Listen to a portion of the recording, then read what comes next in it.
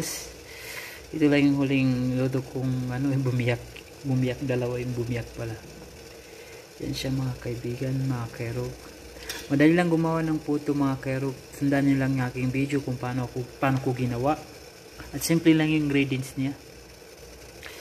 Yan mga kerog.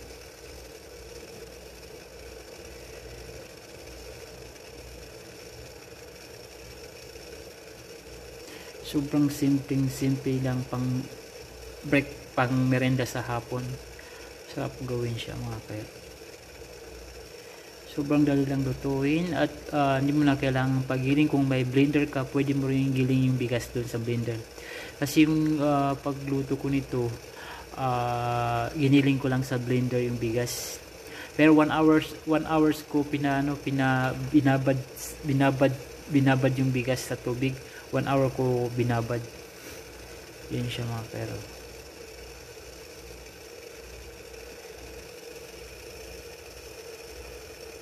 Thank you for watching. Mga kerog luto na yung putong bigas na ginawa ko.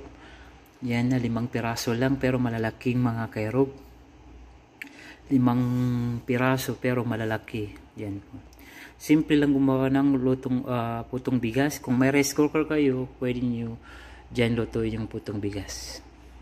Sa oven kasi hindi siya masarap kapag oven. Kailangan talaga yung pinapakulong tubig kasi doon mano siya uh, masarap kapag uh, oven yung ginagamit niyo hindi siya ano yan mga karob putong bigas na niluto ko sobrang daling gawin at kayang kaya ng bulsa ninyo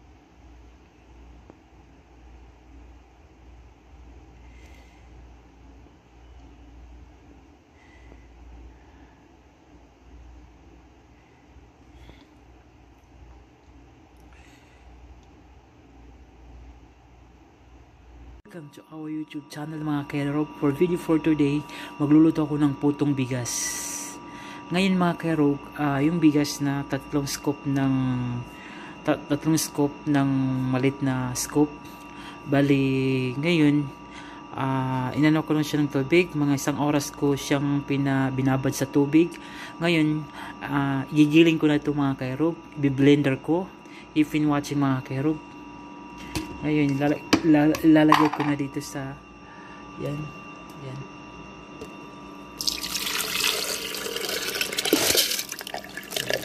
Bigyan ko siya mga pero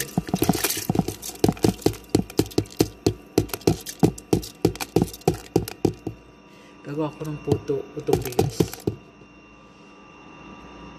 Kerog. Ngayon i-blender ko na siya mga kerog start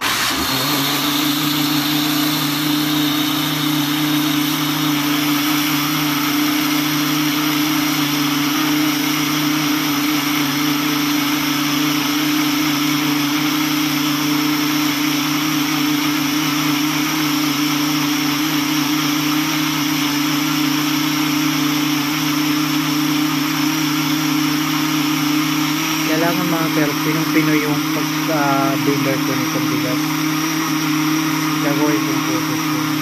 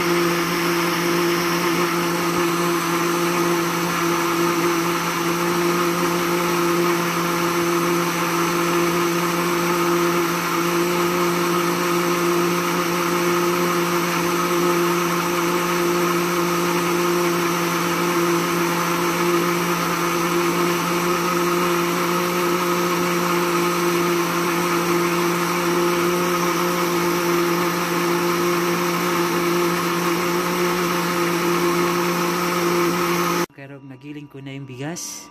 Ngayon, lalagyan ko na siya ng ingredients. Putong bigas yung lulutuin ko, mga kerog. Ngayon, lagyan ko ng ingredients ko. Uh, ito yung sekreto ng aking uh, putong bigas, coffee meat milk. Kasi ngayon wala akong coconut milk or gatas. Ito lang meron dito sa aking kwarto or sa aking kusina ito lang gagamitin kong pang ano putong o ilalagay ko sa putong bigas. Yan. Tansya-tansya lang mga kaibigan. Ilalagay kong milk. Coffee, coffee meat milk. Ngayon halo-haluin ko siya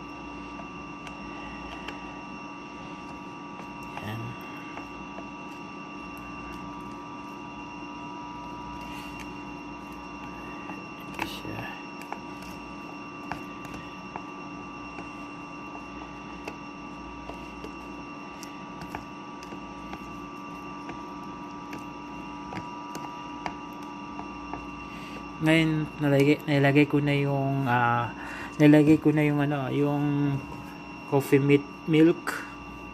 Ngayon lagyan ko siya ng sugar. Lagyan ko siya ng sugar mga kaibigan mga kairog. Tansya lang mga kairog. Tansya tansya lang paglagay ko ng sugar. Yan yan ko na siya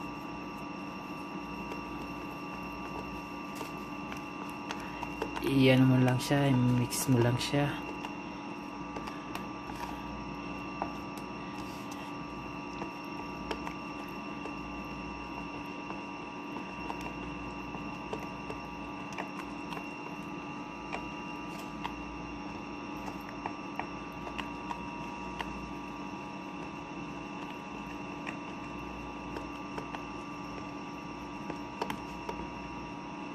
Ayan, tapos ko na ilagay yung sugar.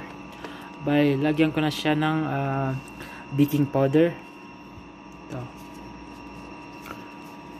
Baking powder. Lagyan ko siya ng baking powder. Yan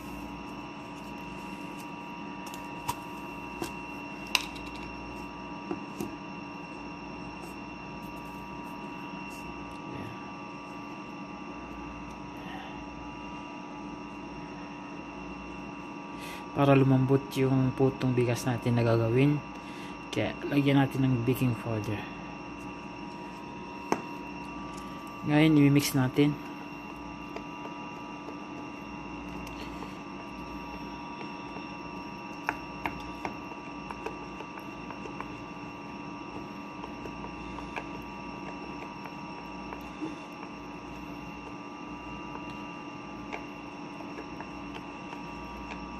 Ngayon, nalagyan ko siya ng isang itlog, mga kaibigan. Yan, isang itlog ilalagay ko. Para masarap yung putong bigas na lulutuin ko. Mix natin yung isang itlog na dalawa yung laman niya. Isang itlog lang to mga kaibigan, mga kerok. Pero dalawa yung dalawa kambal. Bali, mix natin.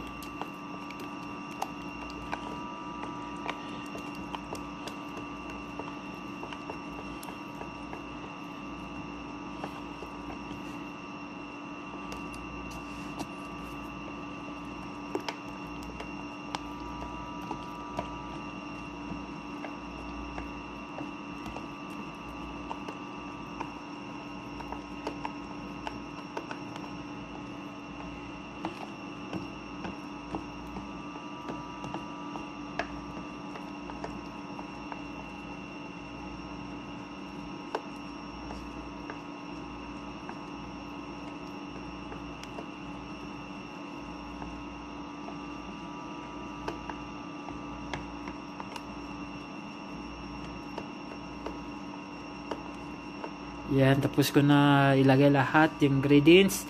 Ngayon, magpapakulo na ako ng tubig. Pakulo na ako ng tubig mga kairo. Keep in watching. Yan mga kairo. Yan yung putong bigas na nuto ko. Hindi siya nagano kasi yung baking ko.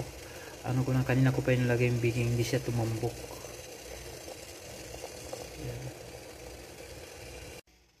Karog, malapit na maluto yung putong bigas na ginawa ko. First time ko magluto ng putong bigas mga kerog. Yan siya.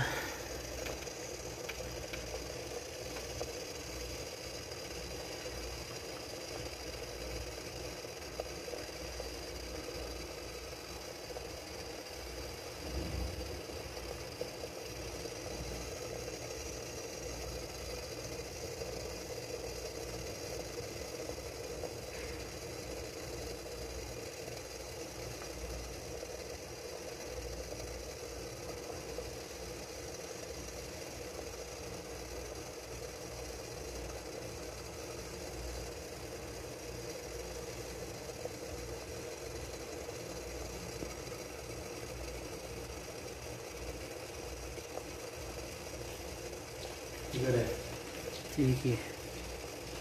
Yan.